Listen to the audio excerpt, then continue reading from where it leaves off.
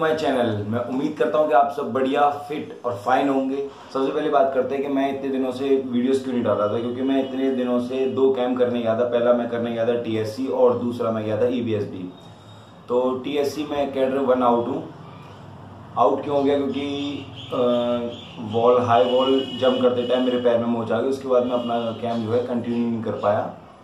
और इस वजह से कैडर वन में सेलेक्ट नहीं हो पाया।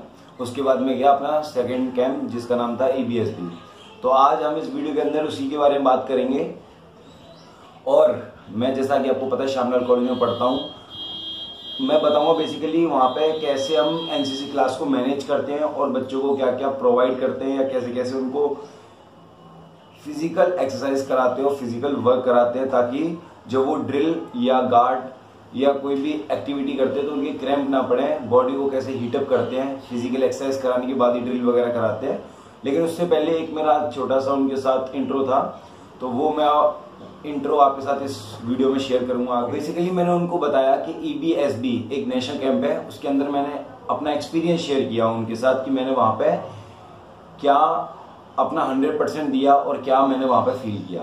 उसके बाद सेकंड जो मैं आपको बता रहा हूँ टीएससी कैम में फ़र्स्ट करने गया था तो प्रिंस जो है सेकंड इंट्रो उसका है। उसने भी अपना एक्सपीरियंस शेयर किया उनके साथ कि उसने क्या वहाँ पे फील किया उस कैंप के मिलता हूँ वीडियो के एंड में। वीडियो के एंड में कुछ फ़ोटोज़ शेयर करूँगा आप सभी के साथ। वो फ़ोटोज़ आप ज़रूर देखें।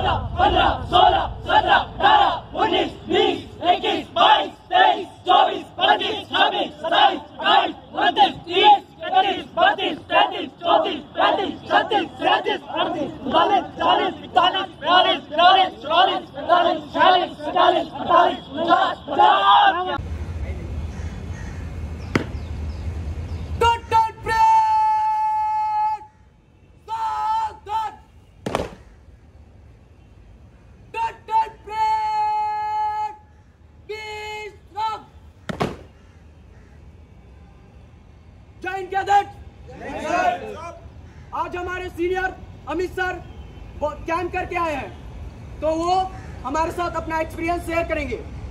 तो आप सभी के साथ आग्रह है कि आप उनकी बातों को सुने और ध्यान से एकदम पूरी डिसिप्लिन रहनी चाहिए क्लास में। होगा? ओके अब मैं अमित सर से आग्रह करता हूँ कि वो आए और अपना एक्सपीरियंस हम सबके साथ शेयर करें। जय सर। जय हिंद। हाउस द जोश। हाउस द जोश। हाउस द जोश। मैं उम्मीद करता हूँ आप सभी फिट फाइन होंगे एकदम। और अभी मैं रिसेंटली कैंप लगा के आया हूँ ई बी एस बी मैंने अपनी लाइफ में वैसे तो पाँच कैंप लगाए हैं, लेकिन जो सबसे बेस्ट कैंप रहा वो मेरा ई बी एस है। जैसा कि आप में से कई लोग जानते भी होंगे ई बी एस बी की फॉर्म उसकी फॉर्म होती है एक भारत, श्रेष्ठ भारत। और इसके साथ मैंने एक और कैंप किया आई डी सी क्योंकि ये E B S B camp जो है, मैंने इंडिपेंडेंस डे पे किया था बेसिकली अपने पंद्रह अगस्त पे। उसके साथ मेरा आईडीसी कैंप भी कंप्लीट हुआ, जिसकी फुल होती है independence day camp EBSB camp और भी होते हैं, लेकिन वो क्या होते हैं इंडिविजुअली डायरेक्टेड के साथ होते हैं। जैसे कभी यूपी का दिल्ली के साथ हो गया, दिल्ली का जम्मू कश्मीर के साथ हो गया तो ऐसे करके कैंप होते हैं। लेकिन ये जो कैंप था ओवरऑल सारी डायरेक्टरेट आई थी इसके अंदर तो ये काफ़ी इम्पोर्टेंट कैंप रहा। मैं आपको पर्सनल फीलिंग शेयर करता हूँ अपनी, जो मैंने इस कैंप में रह के रियलाइज़ किया और जो मैंने महसूस किया, कहीं ना कहीं इस कैंप को लगाने का जो बेसिक मोटो है, वो ये है कि आप जो है, जो अदर स्टेट्स हैं और जो अपने बीच में जो कम्युनिकेशनल गैप्स होते हैं या कल्चरल गैप्स होते हैं, उनको कहीं ना कहीं फुलफ़िल कर सकें। जैसे क्या होता है कि आप नॉर्थ ईस्ट के लोगों को देखते हो तो जब आप उन्हें देखते हो तो आपके माइंड में या आपके थॉट में क्या आता है कि ये कहाँ से होगा? नेपाल, भूटान या चाइना साइड से होगा। क्योंकि उनका जो फेस होता है या उन्हें आप देख के जो अपने माइंड में परसेप्शंस बना लेते हो, वो यही होते हैं। तो इस कैंप को लगाने या इन, इस कैंप को कराने का मोटो ही यही है कि आप उनके कल्चर को समझें। बेसिकली उन्हें समझें। जब हम किसी बंदे को अब देखो, आगे से मैं किसी बंदे के सामने जाऊँ और जब मैं उससे पहली बार मिल रहा हूँ और वो नॉर्थ का है नॉर्थ ईस्ट का है या फिर साउथ का है तो उसे बड़ा अजीब सा लगेगा जब मैं उससे मिलूँगा। या उसकी जो मदर टंग है, वो मुझे नहीं समझ में आई। जैसे केरला वाले लोग हैं, कई तो ऐसे होते हैं जिनको प्रॉपर इंग्लिश भी नहीं आती और हिंदी तो बिल्कुल भी नहीं आती उन्हें, क्योंकि उनकी जो मदर टंग है, वो तमिल वगैरह होती है, तमिल होती है, कर्नाटक होती है, ये सब होती हैं। तो कहीं ना कहीं एक जो कैंप है, ये उस गैप को कम्प्लीटली फुल कर देता है। अब इस कैंप की मैं एक छोटी सी स्टोरी शेयर करूँगा आपके साथ। कि क्या है कि दिल्ली डायरेक्ट्रेट का जो बैरक है वो है, वो साथ में किसके है? कर्नाटक के साथ में है। तो उनकी जो है कर्नाटक बोलते हैं। अब क्या होता था, जब हम बात कर रहे होते तो उन्हें नहीं समझ में आता था, और जब वो बात कर रहे होते तो हमें नहीं समझ में आ रहा होता था। उसमें से एक दो बच्चे थे जिन्हें इंग्लिश आती थी तो हम कोशिश करते थे कि उनसे कांटेक्ट कर लें, उनसे सीनियर से बात कर लें। लेकिन वो हमारे फेस की तरफ़ देखते थे, हम उनके फेस की तरफ़ देखते थे। तो क्या होता था, हम शाम को जाते थे, हम जो रेड फोर्ट वाले बच्चे थे, हम जाते उनके साथ बैठते और कहीं ना कहीं कोशिश करते कि वो हमारी बात को समझें और हम कोशिश करते थे उनकी जो जो वो बोल रहे हैं उसे कैच करें। तो बड़ा मज़ा आता था इस चीज़ में। शाम को बैठते थे आधा घंटा, एक घंटा, बातें करते थे आराम से। तो कहीं ना कहीं उन्हें भी काफ़ी अच्छा लगता था और हमें भी बड़ा अच्छा फील होता था। तो यही था मेरे कैंप का एक्सपीरियंस आई होप उम्मीद करता हूँ आप सबको जान के अच्छा लगा होगा। जो ये वाला ई बी एस बी था, इसमें बेसिकली जब मैं गया तो इसके अंदर क्या था कि हमें ई बी एस बी और आई डी सी दोनों एक साथ कैंप किए।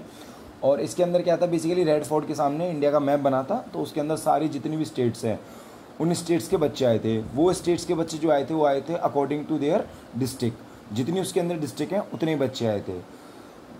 जैसे दिल्ली के अंदर ग्यारह डिस्ट्रिक्ट है तो यहाँ से हम ग्यारह बच्चे गए थे। सिक्स बॉयज़ और फाइव गर्ल्स कैंप जो है वो चला 31 जुलाई से लेके 15 अगस्त तक.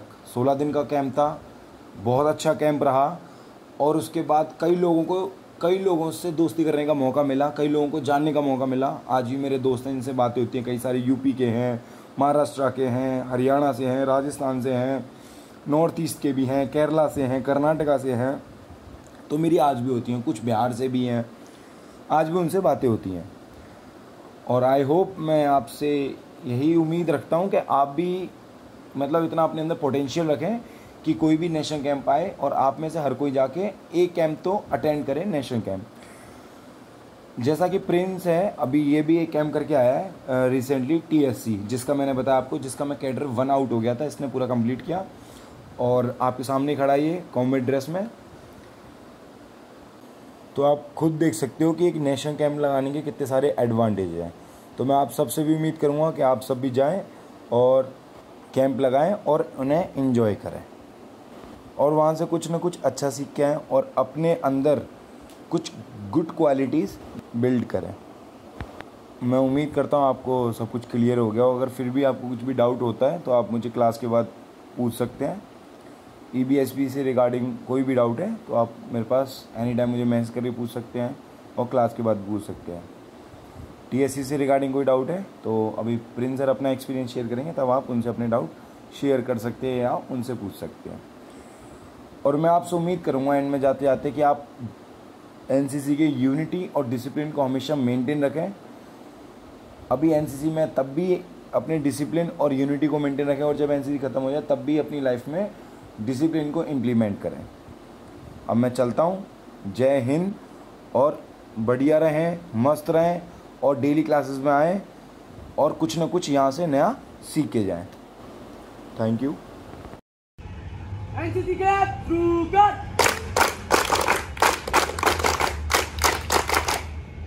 जय हिंद जय हिंद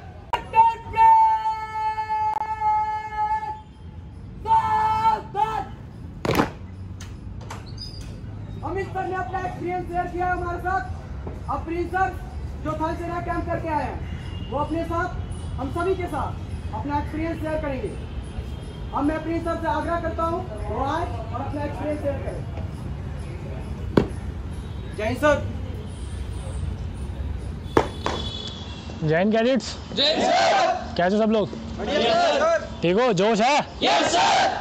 हाँ तो अभी आपके बीच अमित सर आए थे। उनने अपने कैंप के बारे में बताया था। उनने अपना एक्सपीरियंस दिया। तो उससे कुछ तुमने सीखा? क्या सीखा? कुछ बताओ। सर के नेशनल कैंप करने से एक तो पच्चीस नंबर मिलते हैं हमें और काफ़ी नॉलेज मिलती है और एक हम नेशनल कैंप करते हैं तो अदर डायरेक्टरेट से हम जब संपर्क में आते हैं तो अलग अलग नॉलेज मिलती है। अच्छा और कोई? Sir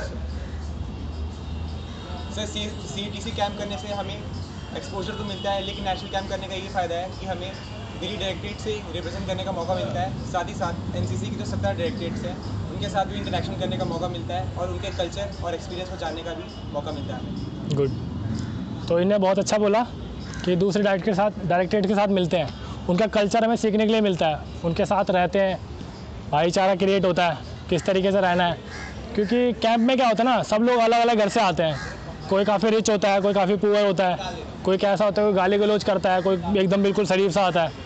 समझ रहे हो ना? Yes, yes, तो उनके साथ रहना बहुत मुश्किल हो जाता है। पहले तो दो दिन तीन दिन तो बहुत अजीब लगता है कि यार ये कैसा बंदा है? जैसे सर ने बताया आपने उसके बारे में कैंप के बारे में। उनने बताया अपना शेड्यूल वगैरह कि किस तरीके से कैसे चलता था कैसे रेड फोर्ट जाते थे कैसे कैसे बंदों से मिले कैडेट से मिले वो लोग। तो ऐसे ना टीएससी होता है। टीएससी के बारे में एक का क्वेश्चन था। आपका था ना? Yes, कि इसका सीडीएस है। तो सीडीएस के साथ हमने टीएससी कैसे करे? तो देखो सीडीएस मेरा भी था, अभी बीच में मेरा गया तो ऐसा नहीं होता कि टाइम नहीं मिलता हमें वहाँ पे। टाइम मिलता है, तुम्हें दोपहर में रिलैक्स देते हैं, उस टाइम तुम पढ़ सकते हो। रात में तुम्हें जल्दी फॉलो आउट करवाते हैं रोल कॉल के बाद तुम्हें छोड़ दे फ्री हो जाते हो, खाना खाने का तो तुम रात में पढ़ सकते हो। ऐसा नहीं है कि नहीं पढ़ सकते। वहाँ पे काफ़ी टाइम मिल जाता है साथ साथ तो तुम उसमें अपने बीच में तुम, अगर तुम डेडिकेट हो तो तुम पढ़ सकते हो। तो यही है कि सी डी एस ऐसा ज़रूरी नहीं कि तुम सी डी एस सोच के कि तुम अपना कैंप ना करो। तो कैंप कर सकते हो, पढ़ाई के साथ साथ और जो बाकी जो कुछ था तुम्हारा क्वेश्चन वो मैंने तुम्हें बता ही दिया था कि क्या क्या होता है। इवेंट्स होते हैं उसमें थल सैनिक में कौन कौन से होते हैं? ओटी होता है टेंट पिचिंग एम वगैरह जो भी होता है तो मैं सबको बता दिया। कोई डाइट तो नहीं उस चीज़ में कौन कौन से इवेंट होते हैं? तो तुम्हारा कुछ था ना क्वेश्चन बायो को लेके? हाँ क्या था? हाँ क्या था? कितना सिलेबस करना पड़ता है ये तो तुम्हें आगे। अपने जे सर है ना? उनसे पता कर लेना एक बार उनने हेल्थ एंड का दिया था। वो मे बी लास्ट कैटर में आउट हुए थे। तो उनको पता होगा। वैसे ज़्यादा बेसिक आता है, जैसे सी में आता है ना, उससे बहुत कम लेवल का आता है। बेसिक जो होती है ना जनरल साइंस वही आती है। तो मैं बोन्स वगैरह के बारे में पूछ लेंगे टिश्यूज़ वगैरह पूछ लेंगे ब्लड के बारे में पूछ लेंगे फ़र्स्ट एड वगैरह के बारे में पूछ लेंगे। यही सब आता है। ज़्यादा कुछ अपर लेवल है ऐसा नहीं कि तुम्हारा नीट का एग्ज़ाम हो रहा है। ऐसा कुछ नहीं, बहुत बेसिक पूछेंगे। जैसे फ़र्स्ट एड क्या होती है, ऐसे ही पूछते हैं। बाकी एम आर में तुम्हें पता ओन पोजिशन निकालने आती है। Map to ground ground to map और इन सब का फ़ायदा क्या होता है? मैप रीडिंग का बताओ। आगे तुम अगर आर्मी वगैरह में जाओगे, तुम्हें पहले से आता है तो काफ़ी फ़ायदा आता है। समझ हो? और ओटी वगैरह ओटी का कौन पूछ रहा था? ओटी का। ओटी में दस ऑब्स्टिकल होते हैं। पहले होता है स्ट्रेट बैलेंस ठीक है? स्ट्रेट बैलेंस के बाद आता है क्लियर जंप क्लियर जंप के बाद आता है गेट वॉल्ट फिर गेट वॉल्ट के बाद आता है जिगजैग फिर जिगजैग पार करने के बाद तुम आती है छः फुट की वॉल आती है। वो वॉल क्लियर करने का फिर डबल डिच आती है। जो डीजी का बन रखा है, मैं उस हिसाब से बता रहा हूँ। और जगह जैसे कीर्ति नगर में कुछ अलग तरीके से बन रखे हैं, जैसे ऑब्स्टिकल आगे पीछे कर रखे हैं। पर जो मैं तुम्हें बता रहा हूँ, वो डीजी का बता रहा हूँ। वॉल के बाद आती है जिगजैग जिगजैग पार करने के बाद आता है लेफ़्ट राइट वोल्ट फिर लेफ़्ट वोल्ट लेफ़्ट वोल्ट आने के बाद फिर आती है तुम्हारा, एक और आती है। फिर लास्ट में तुम्हारा दोबारा स्ट्रेट बैलेंस आता है। फिर तुम्हारा क्लोज हो जाता है। मतलब बीच में ना उनके ऑब्स्टिक के बीच में होता है, पंद्रह से दस मीटर का गैप होता है ज़्यादा से ज़्यादा। तो इसमें तुम्हें कम से कम टाइमिंग लानी पड़ती है। जो हमारी टाइमिंग आ रही थी ना मिनिमम तो वो तीस के आसपास आ रही थी। तीस, इकतीस टीम के साथ, तीस, इकतीस, बत्तीस, तीस, इकतीस, बत्तीस। अगर तुम इंडिविजुअल जाओगे, कीर्ति नगर मैंने करी थी, पच्चीस में भी करी है, छब्बीस में भी करी है। ठीक है बेस्ट टाइमिंग उसकी चौबीस सेकेंड आई थी। जो कीर्ति नगर में आई थी बिना वेट के। और जो मैं इकतीस बत्तीस बता रहा हूँ ना वेट के साथ है। वेट में क्या क्या होता है तुम्हारा? एक होती तुम्हारी वाटर बॉटल पिट्ठू में। एक टावल एक अंडर गारमेंट्स होते हैं, और पिन वगैरह होती है, सुई पिन धागे, बटन, ये सब होती है। तो मतलब वो तुम्हारे पी स्टाफ होता है ना, वो तुम्हें सेट करके देता है। सब चीज़ पैक करके उसको पिट्ठू में डालते हैं, और एक होती है राइफ़ल राइफ़ल पहले हमने जो ट्रेनिंग करी थी, वो थी हमारी point two two point two two के बाद हमें एस एल आर मिली। एस एल आर काफ़ी एस एल आर भारी है पॉइंट टू टू से। तो एस एल आर में करते हैं फाइनल में। तो पीठ पे बांधनी होती है। वो तुम्हारा कैसे है कि तुम्हें बांधनी है या ऐसी लटकानी है, वो तुम्हारे ऊपर है। पर जो एंड में तुम एंड पॉइंट पे पहुंचोगे ना तो तुम्हारा सारा सामान चेक करते हैं। और जो टाइम होता है, वो नौ बंदे एक साथ भगाते हैं। ठीक है? तीन भगा तीन लगा लो या चार लगा लो। ऑब्स्टिकल चार होते ना तो तुम चार भी भग सकते हो। पर ना काफ़ी बिड़ा बिड़ा हो जाता है। तो इस चक्कर में तीन तीन भगते हैं बंदे। तो तीन तीन तीन छः बंदे नौ बंदे भगते हैं एक साथ। तो जैसे वो टाइम पहले स्टार्ट हो जाता है, जो बंदा पहले भगता है, फिर क्लोज टाइमिंग होता है, जो उससे एंड में पहुँचता है। तो वही टाइमिंग आती है, तैंतीस, बत्तीस तैंतीस, बत्तीस आती है टाइमिंग तो स्टार्टिंग बंदे से लेकर लास्ट वाले बंदे तक टाइमिंग नोट होती है, समझे अब? किस तरीके से होता है? नौ बंदे एक साथ गो होते हैं। ये नहीं कि इंडिविजुअल टाइम लेते सबका, कि एक गया, दो गया, तीन गया, ऐसे नहीं है। इंडिविजुअल सबका एक साथ जाते हैं। फिर वहाँ पे जाके टाइम क्लोज होता है। फिर जिस दो टीम सबसे कम टाइम लाती है, वो विन हो जाती है। तो इस टाइम जो अभी हमारे ट्वेंटी ट्वेंटी में जो केरला आई है फ़र्स्ट और हमारी दिल्ली की आई है ओवरऑल फिफ्थ आई है, जो टी आई है। बाकी और किसी का क्वेश्चन हो तो बताओ टीएससी को रिलेटेड